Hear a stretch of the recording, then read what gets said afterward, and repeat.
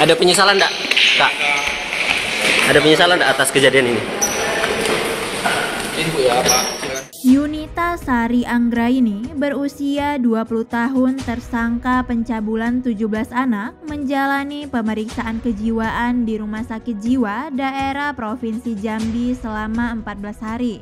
Ia tiba di rumah sakit itu bersama tim Subdit Renakta Polda Jambi pada Selasa 7 Februari 2023. Yunita mengenakan pakaian kuning dengan tangan di borgol, rambut pirang terurai saat ia berjalan menuju ruang pemeriksaan.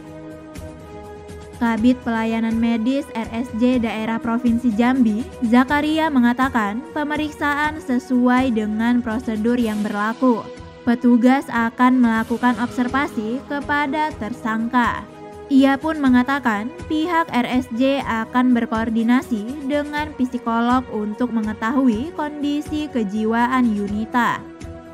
Sementara itu, Kasubdit 4 Renakta di Treskrimum Polda Jambi, AKBP Christian Adiwibawa mengatakan, pemeriksaan ini merupakan bagian proses penyidikan kasus pencabulan tersebut dan akan melengkapi berkas BAP.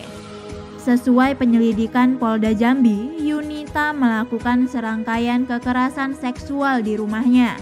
Ia memanfaatkan usaha rental PlayStation untuk merayu hingga memaksa korban agar memenuhi hasrat yang tidak wajar. Para korban juga dipaksa untuk menyentuh payudaranya. Bila tidak melakukannya, korban tidak boleh pulang atau tidak dibukakan pintu. Tak hanya pencabulan, para korban diminta melihat aktivitas seksual tersangka bersama suaminya melalui celah jendela serta diminta untuk menonton film porno. Suami Yunita sebelumnya sama sekali tidak mengetahui tindakan itu. Yunita diduga memiliki perilaku yang menyimpang.